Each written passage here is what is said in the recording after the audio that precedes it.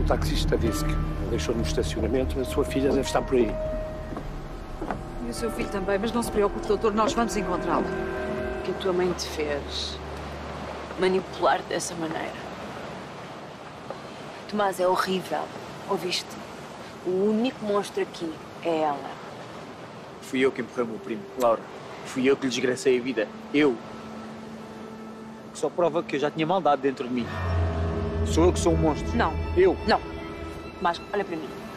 Tu eras uma criança. Ouviste? Guardar esse segredo todos esses anos. Viver com essa culpa. Nunca mais voltes a repetir isso, ouviste? Nunca mais. Tu não és um monstro. Não és.